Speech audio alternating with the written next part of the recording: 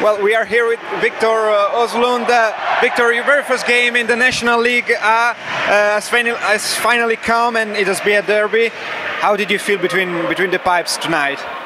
Uh, it was fun. Uh, I liked the crowd, and uh, also that it was a derby, a lot of people, and but it's never fun to lose.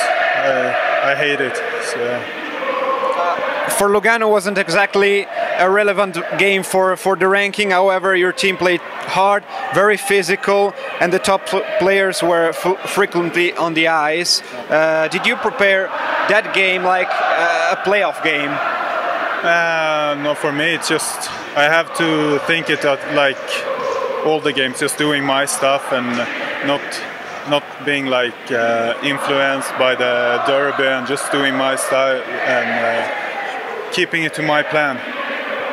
Uh, you have never played during the season, uh, but you have always worked with the team all season long.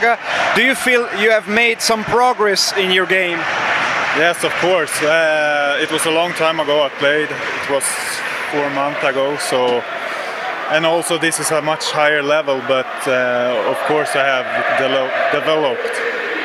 And did you expect to play more after Manzato's injury? Uh, maybe uh, during the Spengler Cup, for example? Of course, I wanted to play, but uh, it's Shedden that taken the decisions, and I, I just trying to do my best. And yeah. And your contract is coming to an end. Uh, what? Uh, any idea about about your future? I have no ideas, but but I want to stay here in Switzerland. Okay, thank you very much. Thanks.